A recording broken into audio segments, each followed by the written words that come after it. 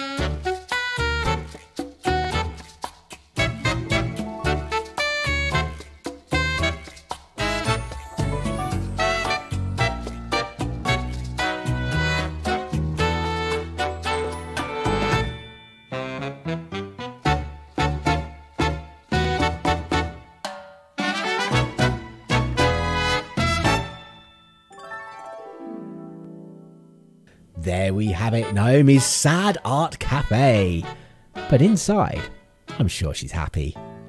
Our next villager that wanted a home is a lovely, lovely pink horse called Peaches who wanted a shrine dedicated to roundness. How round did her home become? Let's take a look.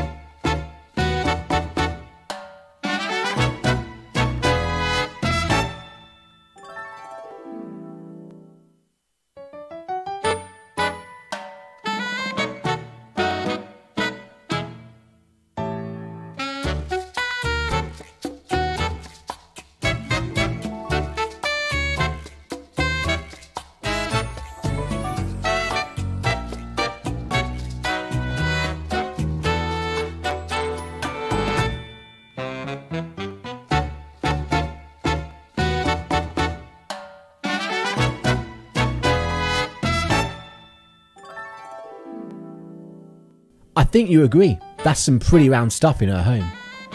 but thank you so much for joining me, everyone. I really appreciate everyone that's made it through to the end of this video.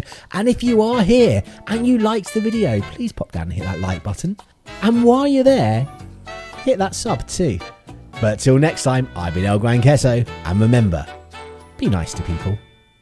Bye!